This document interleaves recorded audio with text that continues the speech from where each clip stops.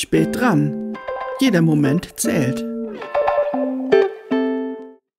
Clemens möchte auf keinen Fall zu spät nach Hause kommen. Immerhin feiern seine Freundin und er den Jahrestag ihrer Beziehung. Dass seine prall gefüllte Blase ihm hierbei einen Strich durch die Rechnung macht, bringt ihn in heftige Bedrängnis. Hinzu kommt der ungeplante Umweg wegen der Kollegin, die er im Auto mitnimmt.